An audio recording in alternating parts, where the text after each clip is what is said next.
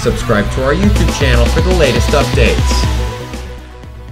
Well, Cyclone Batsirai is currently a Category 4 on the Saffir-Simpson Hurricane Wind Scale at 18.2 degrees south, 58.4 degrees east, heading directly towards Mauritius and La Réunion, likely to scathe both coastlines with tropical storm force winds before moving towards Madagascar.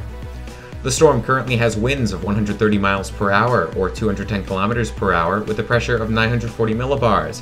It was moving west-northwest at 7 miles per hour when Meteo France updated this and you can see that wobble there, although again that southerly movement does look to be more dominant now. Well, let's take a look at the CDPS scale. It's a stage 7 for Ambalavantaka. Uh, this Saturday with major wind speeds, major rainfall, major storm size, and a major overall threat to land all being there.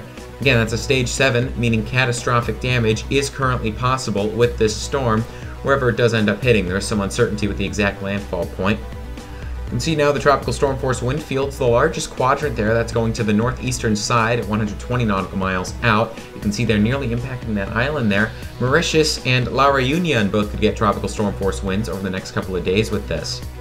Well, speaking of Mauritius, they're in a Class 3 warning at this time, 136 miles away. That's how far the storm is. From La Reunion, the storm is 248 miles away. Uh, they're in a orange cyclone alert at this time. Thing, this thing is 369 miles away from you, but it is not expected to strike you. And in Madagascar, you can see the variety of places currently in a green cyclone alert.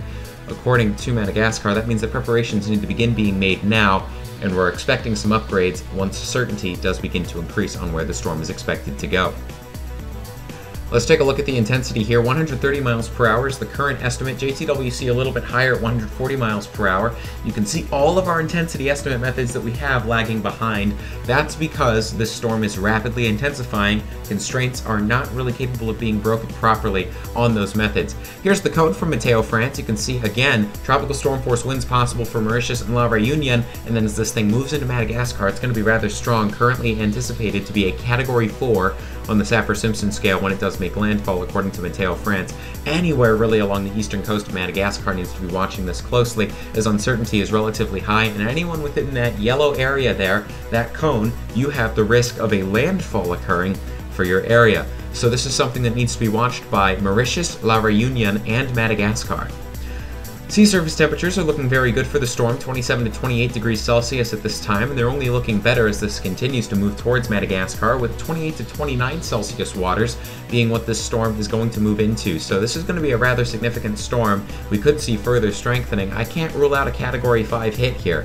Uh, we'll just have to see what does end up happening. But again, Category 4 currently forecasted. Here's the HWRF model, and you can see that wind swath there. Category 2 landfall expected from that, and you can see as well the rain swath. That's going to be the biggest threat with this as well. Over 24 inches of rain, that's over 600 millimeters possible in some areas.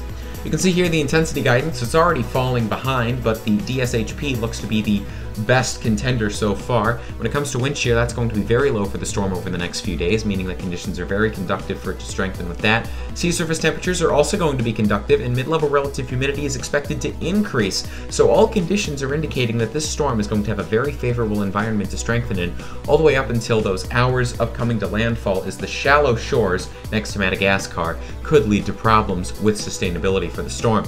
You can see that eye beginning to pop out on water vapor imagery there as the storm does continue to move towards Mauritius.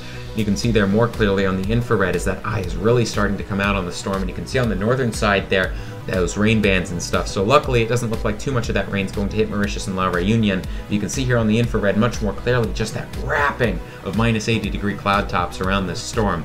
Very dangerous storm indeed. It's one that packs a punch. It's one that has some power. On the visible, we can see as the sun does rise, that eye of the storm, you can see the previous day, and now the current day as the storm does continue its move towards Madagascar. Bye.